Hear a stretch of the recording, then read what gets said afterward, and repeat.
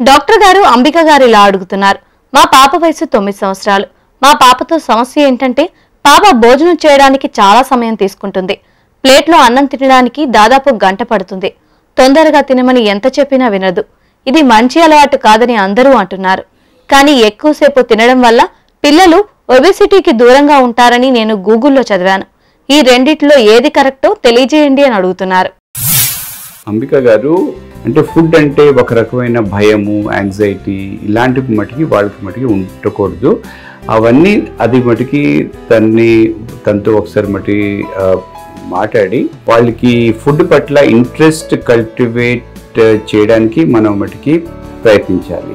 ఇంకోటి ఏంటంటే ఒకసారి అన్ని త- తన్ని ఒకసారి ప్రాపర్గా ఎగ్జామిన్ చే చేసుకొని ఏమన్నా తనకి ఎనీమియా కానీ ఇలాగా విటమిన్ డి డెఫిషియన్సీ కానీ ఇట్లాగేమైనా ఉన్నదా లేదా అనేసి మనం ఒకసారి తెలుసుకొని న్యూట్రిషనల్ డెఫిషియన్సీస్ ఏమైనా ఉంటే అవి మనం దాన్ని చూసి దానికి ట్రీట్మెంట్ కూడా ఇస్తే వాళ్ళకి కొద్దిగా స్లోగా వాళ్ళకి మటుకి యాపిటైట్ కూడా పెరుగుతుంది.